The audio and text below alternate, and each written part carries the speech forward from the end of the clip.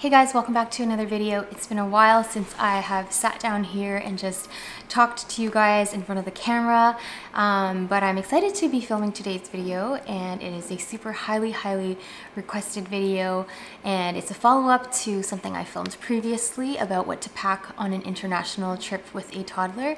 So if you haven't seen that video, make sure to go check that one out first because it'll just give you a little bit more context to what I'm going to talk about today. And before I get started, I just apologize for all the hum and the noise in the background. There is literally a construction site right next to me here. And over there, you might hear some humming from my oven as well because I am baking some sourdough cinnamon rolls. Um, but anyway, without further ado, let's get into the video. So here I have my phone with me because I have just a list of things that I wanted to touch base on in this video and kind of follow up on um, because I received a lot of questions and requests for tips and tricks for traveling with a toddler. So whatever I say is just from my personal experience and my personal trip and flight. It might not apply to your child um, and your flight. So take everything I say with a grain of salt and just see what works for you and your family and your kind of vacation. So just a little bit of an introduction and background information on where I went, how long my flight was, whether there was any connecting flights, um, and things like that. So I went to Hong Kong, which is typically, I think, around 13 to 14 hours if you're flying direct. Um, I took EVA Airlines and I flew to Taiwan first, which was a 15 hour flight and then there was supposed to be an hour layover, but because my flight was delayed in Toronto, um, when I got to Taiwan, I only had 30 minutes to connect and it was pretty hectic because all connecting flights were in one line to go through security again to connect to wherever they wanted to go. So it seems like Taiwan is just a really popular hub for traveling to all different areas in Asia. All right, I'm back. I just had to take the lids off of my sourdough bun so that they could keep baking. Um, okay, where was I? Oh, talking about the connecting flights. So yeah, anyone going to like Thailand, the Philippines, wherever in Asia, a lot of them connect in Taiwan. Um, and then so me included, I was connecting to Hong Kong.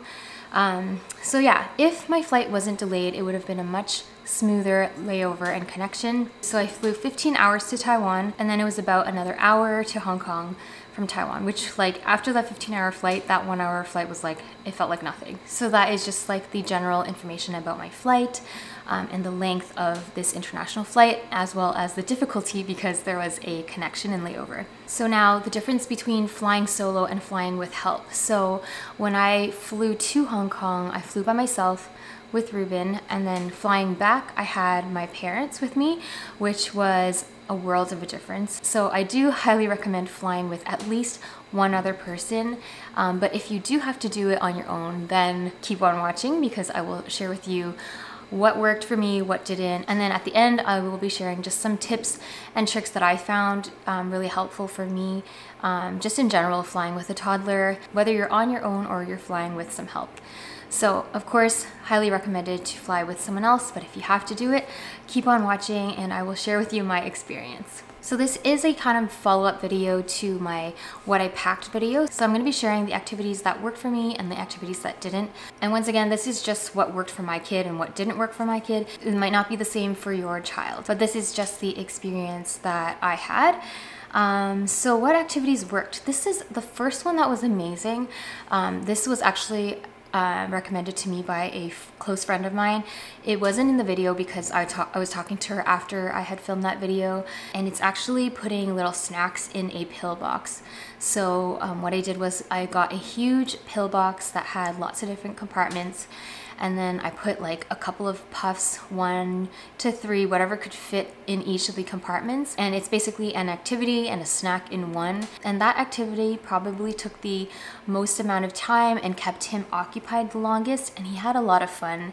And he felt like he was eating a ton of puffs when in reality he wasn't really because there's only like a few in that pill box. Um, so I did that on both flights and he loved it both times. Another thing that worked was last minute I shoved a little car into my backpack. He's not super into cars, but for some reason this one worked um, and he was just driving it along like the armrests of my seat and like over the edge, the headrest. I did let him get out of the seat. I took his shoes off so he was just in socks on the chair so he could kind of feel like he was standing and out and not strapped in the whole time because Ruben is pretty active and he wanted to go up and down the aisles a lot, but it was a pretty tight flight and it was fully packed. And a lot of times people are sleeping so I didn't want him to disturb people. So I tried to keep him mostly contained in our seat area. But yeah the little car actually he enjoyed. Another highly highly recommended activity is Play-Doh if your kid is anything like mine and they love sensory activities, Play-Doh is such a great one because you can pack it. Uh, I made my own Play-Doh and I just flattened it and put it in a Ziploc bag. And then I brought a couple of tools that I thought he would love. I think I mentioned in my previous video that he's obsessed with scissors. So I made sure to bring Play-Doh scissors, um, which pass through security fine, and like a pizza cutter, and a couple of like cookie cutter type toys. I will link the products again, the ones that I recommend in the description box below if you want to check it out. But Play-Doh was another activity that he loved flying there and flying back. So the Puffs in a Pill Box and the Play-Doh activity um, are probably my top two activities that I would highly recommend. And then the last thing was the book that I purchased. He actually really loved that, um, especially flying there because it was brand new to him, had lots of flaps. Um, so that one kept him occupied for a little while too. The only downside to that book is that it was really heavy because it's hardcover um, and it's pretty chunky and big. That was the only book that I brought, but thankfully he liked it so we could read it um, on the plane multiple times and we also read it while we were in Hong Kong just at home. So he really enjoyed that one. Not that many activities that worked, a lot that didn't work. Um, so activities that didn't work, I did buy reusable stickers and I feel like this is just an age thing. Um, maybe Ruben's not at the age where he's really into stickers or maybe it's his personality because I know a lot of parents swear by the reusable sticker books.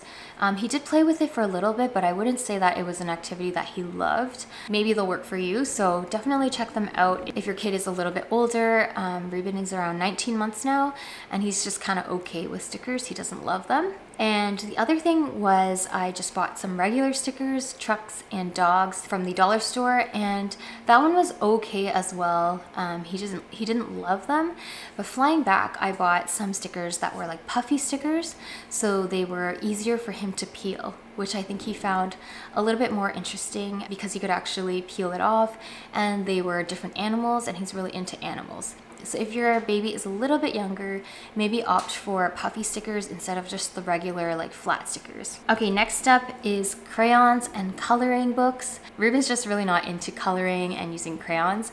So that was a huge miss for me and I ended up having to carry the thick activity pad and the notepad that I brought. So I wouldn't recommend that for my child, but if your child is really into art and drawing, then I'm sure that that could keep them entertained for a while. This one was a flop for us, unfortunately. And then screen time. So I was hoping that I could rely on screen time. We normally don't give Ruben any screen time, so I thought, oh, it's like a new thing. He's gonna love it. I downloaded some shows um, with music and things like that for him. He didn't care for it. Maybe watched like 10 to 15 minutes and he was over it. So that was um, not the best. The other thing was the kid headset that we bought Funny thing is he likes wearing it now that we're at home, but when we were on the plane, I found that it just became a hassle. Um, I had to pull it out of my bag, I had to plug it in and then let him use it. And he didn't really want to use it flying there, but on the way back, um, my dad actually let him wear the ones that the airplane provided, which was also like over the head earphones, and they were pretty comfortable and they fit his head surprisingly.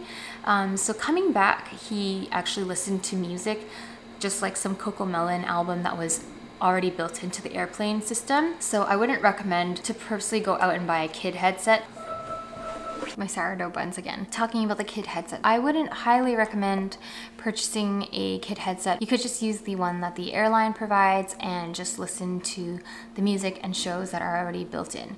Unless your kid has a really strong preference for shows or the type of music that they listen to, then yeah, I wouldn't recommend bringing another thing. That um, was kind of a flop for us as well. And then the last thing was the gather mat. I didn't end up using that as a floor um, mat that I had planned on letting him kind of walk around in that front section. I used it once um, for him to play Play-Doh, I actually laid the mat on the seat and then he played Play-Doh while standing on the floor. So that is an option, but I don't see that item being a huge thing that you have to bring. It's definitely a great product that we use all the time at home, but not necessarily one that I would say you have to have for travel. Now I'm gonna move on to some general helpful tips um, as well as my most recommended products. These are just products that I found to be the most helpful. Okay, and then I have a big list here and they're listed in no particular order. I was just thinking about what really helped when I was flying and I just listed them all out so I'm gonna just briefly discuss each one. Um, I tried to pack as light as possible, but looking back, I probably could have left a few things at home. Of course, I didn't have the perspective that I do now, where I know that some activities wouldn't have worked and I wouldn't have needed the headset, things like that. Um, but yeah, try to pack as light as possible. And what I packed was a diaper bag, like a backpack, which I um, use all the time. So I brought that one, and then I had a duffel, and then I had um, a pouch. So those are the things that I carried on. What I recommend is keeping your wipes and your hand sanitizer in a pouch, something that is really easily accessible. I think I had my hand sanitizer in the diaper bag and then I had the Lysol wipes in the black duffel bag. So kind of everything was in different sections. So in hindsight, I think it would have been better to just keep that stuff where I need it frequently um, close to me and in my own um, purse. So the next tip is kind of related, which is try to pack everything in one bag if possible. And if that's not possible, then to categorize the items that you bring according to the need. So that is how I would organize normally, but I don't know, I guess I didn't have enough space in certain bags, so that's why things were kind of spread out. I would highly recommend keeping like personal items, so your passport, wallet, phone, hand sanitizer, those little items in a little pouch that is easily accessible. And then for your diaper bag, just put all of the diapering needs there. If you have a duffel like me, then to keep all your activities and food items, everything else in that other bag.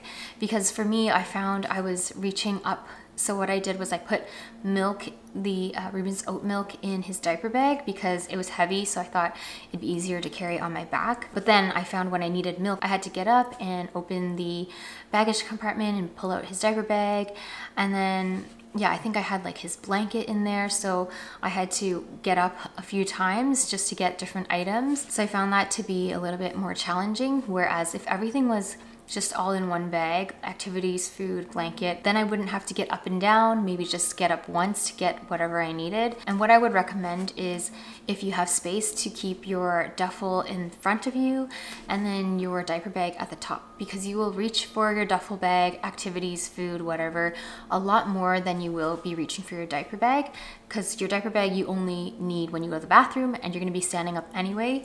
So I recommend putting your diaper bag at the top. The next thing is this is just a random tip, but definitely use courtesy lanes as much as possible um, if you can, if they allow you to. I find that different airports have different rules and regulations, but you can always um, reach out to the ground staff to see if there are any courtesy lanes or if you have a kid um, or if you're traveling as a family, if there is like a family lane. Because when I was traveling back from Hong Kong, I found that Hong Kong was really great with the courtesy lane. So they had a courtesy lane for the security and like going through the immigration part. And that made it so much easier for me. I went through that with Ruben and then my parents went through the regular one and we just met on the other side. And there was literally no one in the courtesy lane and the people were so nice. They were like, take your time, mom. Like they helped me open my stroller. They helped me like put my things back. Um, yeah, so just use the courtesy lines if they're available. If you don't know where they are, just make, try to reach out and ask where they are because they will save you a lot of time and stress for sure. So the next two tips are kind of like diapering tips.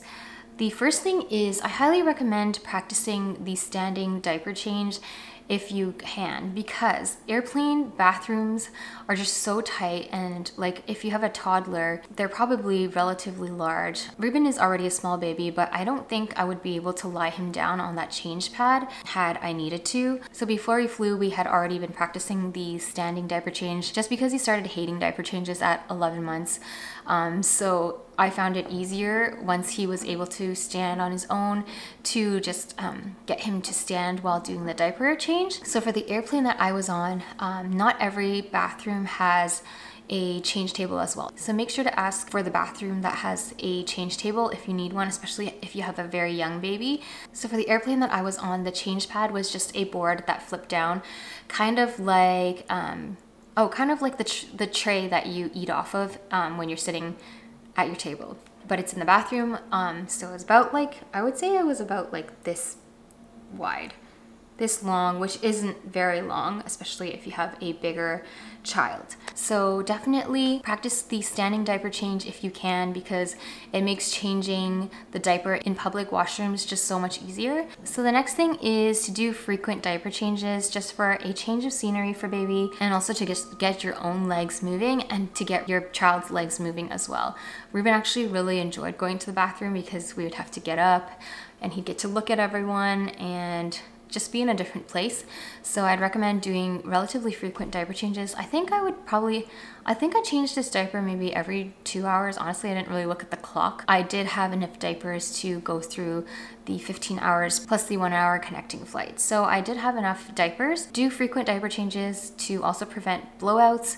I didn't have any diaper blowout issues, um, but I did have a little bit of a spillage. Moving on to um, bringing an extra change of clothes, which everyone recommends. Definitely do it. Thankfully, I didn't get anything on me and I didn't have to change, but Ruben, he had a little bit of a milk spill and we had to change him on that last leg of our trip, the one hour flight. So I had to change him there, but at least he was in some fresh clothes when we got off the plane. Another diaper related tip is to change the diaper right before you get on the plane so that at least it's fresh for the first few hours and you don't have to get up right away. And if they're sleeping, then they're in a clean diaper, not in one that is already soiled. So try to change the diaper as close to boarding as you can, and that will save you one diaper change trip while you're on the plane. And the number of diapers, um, I googled this and a lot of people said one for every two hours. So that's what I did. I did one for every two hours plus a few extras because you never know. Like whatever I could fit in the diaper bag, I just added like two extra ones just in case because I didn't want to run out of diapers on the plane um, because that would be a huge issue. The next tip is to make sure you have a good drinking bottle. I have the Munchkin weighted straw cup. I know a lot of people have that one because it's relatively cheap and it works, but it also drives me insane because of the weighted straw, like the milk or whatever you put in there always just like explodes and it's even worse on the plane because of the pressure. So you always have to remember to unscrew it a little so that the air, I don't know how, I don't know like what the science is behind it, but you just have to unscrew it a little bit so that the air goes in and then screw it back up. But like, just watch your liquid so that it doesn't shoot up the straw because the pressure on the airplane just makes the drink fly everywhere. Um, it's basically like a hose. It's not like how it normally kind of spouts. If you have the bottle, you'll know what I mean. It literally sprays. So that's what happened because I for a split second forgot to unscrew that even though I had already learned my lesson on our flight to New York. So that's why I had to change Ruben on that last leg of the flight. So yeah, just that's just a little tip, especially for the Munchkin bottle. I'm not sure if it's the same with other bottles, but I would just double check um, to be safe because of the air pressure in the cabin. The next thing is regarding like strollers and carriers. I still highly recommend bringing a carrier, but if you can, if it's possible, Bring one that doesn't have the metal rings because every time you go through security, they're probably gonna make you take it off because of the metal pieces. So although I love, love my Sakura Bloom carrier, I might not use it for travel again just because of the metal pieces and I had to remove him from it every time I went through security, which was kind of a pain, especially if you're traveling by yourself. If you're with someone else, I don't think it's as big of a difference and I still love that carrier because it's so much smaller um, than a lot of the other carriers that don't have um, metal pieces like the Ergobaby um, would be a good option but the only thing with that one that I don't love is that it's huge and traveling alone like I didn't want to carry a huge carrier. But that's just a little tip. If you have a baby baby, then I would highly recommend bringing a wrap because it's all cloth, you can keep your baby close to you. I'm pretty sure they won't make you take it off because there's no metal pieces, it's just a piece of fabric. And then regarding the stroller, definitely if you can, gate check your stroller so that you can use it while you're waiting to board. Um, even if your kid doesn't want to sit in it, like my kid, he never wanted to sit in it, um, you can use it to push around your luggage or your bags or whatever. So that just kind of saves your muscles a little bit. Definitely saved my muscles for sure. The next tip is probably my number one tip that I think made the biggest difference between the first flight and the flight coming home. It is to prioritize sleep. So I know like a lot of people say bring lots of snacks, keep them occupied. I think I was focusing too much on like activities that could keep him occupied and like filling him with snacks. But but I think the biggest difference that um, affects a child's mood is whether they can sleep or not. So for my first flight when I was traveling alone, it was really difficult to get him to fall asleep and also to stay asleep because there were a lot of other babies and other children. So the smallest little noise would wake him up. And the other thing is that Ruben runs really hot and I found that because I carried him in my carrier to get him to sleep, I would rock him like that because it was pretty tiring to hold him in my arms. I found it easier to rock him to sleep in the carrier, but then he got extremely hot because of like the body heat and then like the fabric of the carrier. So the heat made it also difficult for him to fall asleep. So he would just sleep in spurts of like 30 minutes and then wake up super cranky and angry because he was still tired and he was frustrated that he couldn't go back to sleep. So I definitely recommend prioritizing sleep on the airplane. Yeah, and just making sure that your child is comfortable. So if your child runs hot like mine, don't cover them with blankets. They're probably gonna be really hot, especially if they're a lap ticket. Like Ruben, he sat on my lap the entire time. You're gonna have that body heat no matter what. If they're in their own seat, it might be a little bit different because they have more airflow around them. Um, but yeah, just make sure that the temperature is a good temperature, that they're not too hot, and that they can fall asleep and stay asleep. Um, and another thing to hopefully help them fall asleep is to let your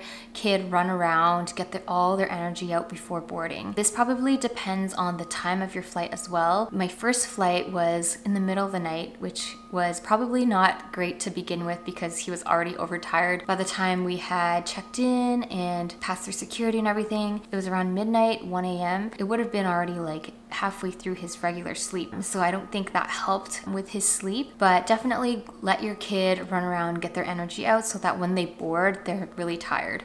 So what we did in Taiwan, coming back from Hong Kong, we flew from Hong Kong to Taiwan and we just let Ruben run all around wherever there was empty space. He loved being on the ground and just getting all his energy out. And he slept so much better on the flight home. He just slept like this on either my lap, on my dad's lap, or my mom's lap. Sometimes we had to fan him because he got too hot, but I barely ever used my um, muslin cloth on him as a like warmth thing because he just ran super hot. But that is just another tip to hopefully promote good sleep for your baby on the plane. Okay, and another thing that I think I could have packed into my check-in luggage was like all that food, utensils, and scissors, and the food container because unless you have a long connection, you don't really need that stuff on the plane. There's also not a ton of space for that because once they serve the food, like the only thing that fits on the tray is your tray of food. It's not like you have another table for your kids' utensils. I don't know why I thought I would need that stuff. So unless you have a long connecting flight where you think your child might need the utensils, then I would just just check it in or skip it completely. Only thing I would maybe still keep around is the bib in case I do want to eat and you want to keep them clean. So maybe just the bib, no utensils, food scissors, and food container. Next little tip is just lots of wipes. Like you can never have enough wipes. So just bring tons. In terms of the different bags that I use to carry my items, my diaper bag, my Fjällräven backpack, highly, highly recommend. I use it on the daily as well, so maybe I'm just used to that backpack, but it's super lightweight and it's just really comfortable to carry, so definitely recommend that bag. The Monos duffel, it's an overall really great duffel for traveling, but I found it to be a tad heavy for if you're traveling alone. It's super spacious and it has really good um, compartments, and I love the luggage trolley sleeve. The only thing is that I found it a bit heavy, especially if you're traveling alone. Like I had my backpack, I had my pouch, I had my child, a stroller, and then like carrying the duffel, like that was pretty tiring, especially for my connecting flight. I didn't have my stroller then because it was gate checked and it just went directly onto my next flight. So that was very heavy, but thankfully, another little thing is that people are so kind and people will help you. Um, a lot of people just reached out and said like, hey, can I just pull your bag down for you? When I was waiting to connect in Taiwan, the man behind me was like, oh, where are you going? Like, can I help you with your bag? And it ended up that we were both going to Hong Kong. So that was kind of a relief because I was really stressed because I only had 30 minutes to connect.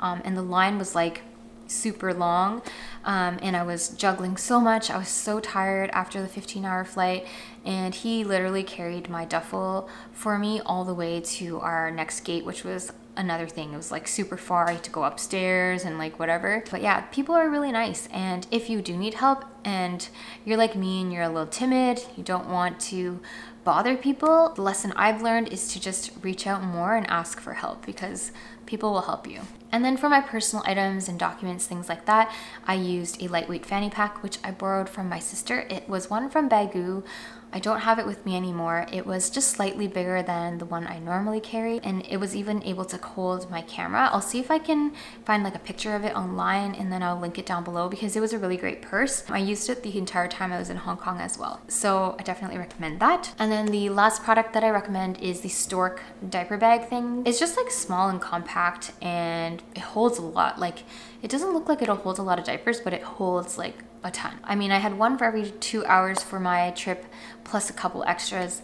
So yeah, it was good. And I also put like a sunscreen in it, a cream, Vaseline, extra change of clothes like in there. So it actually fits a lot. What I like about it is that it also has a handle. So every time I went to change Ruben in the bathroom, I just took that bag and then my wipes and I just brought that and it was really nice and simple and everything was just contained in one bag. Um, so yeah, highly recommend that product as well. So I think we have come to the end of all my tips and what worked, what didn't, my recommended products. So the question, would I do it again? It was such an amazing trip, but I think I would never travel again with such a young toddler alone. I would recommend traveling either with a baby who can't walk yet or with a child that is slightly older and is able to sit on their own and kind of entertain themselves with activities. If you have to travel, I mean, if you really want to travel with a toddler, then go for it because like at the end of the day, it was such a fun trip. I had an amazing time and it was just really nice to um, be able to show Ruben Hong Kong and meet with relatives and friends, just be in a different city. And I think Ruben really grew from that trip. Um, it's such a busy city, so he learned so much. His language developed a lot while we were there, just because there's like so much stimulus. Um, he got to meet people that live in a different country and he got to learn about his own culture which I mean he's really little and he's probably not going to remember it but I just really enjoyed that trip overall. So if you can travel with someone else, that is my number one recommendation. If you have to travel alone, it's doable and you can do it. It's probably going to be very tiring and exhausting, but hopefully some of the tips here I've given you or just the experience that I've shared with you will help um, and just encourage you to go and take that trip because yeah, trips are a lot of fun. And I think uh, with my own experience, honestly, for this trip, for my flight alone, like everything that you wanted to not happen would have happened on this flight.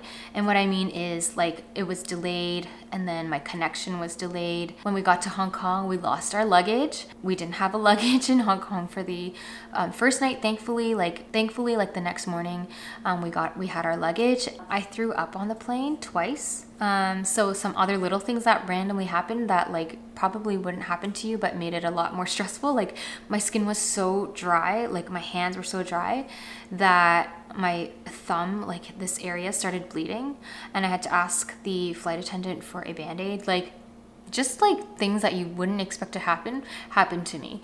Part of it got cut off, but the other thing was that when I was filling out the landing card in Hong Kong, my pen exploded. So I had to pick up all the pieces and then just like use the one at the counter. But basically like everything that you don't want to happen on a trip with a toddler or just on a trip in general happened to me. So, but in the end, I still survived and I had a lot of fun. So all that to say, go on your trip if you wanna go on a trip with your toddler. Um, but if you can and get help, get help. But yeah, I hope that this video was helpful for you. If it was, make sure to give it a thumbs up, subscribe for more videos. If you have any further questions or any comments, make sure to leave them down below and I will get back to you. And I will see you guys next time. Bye.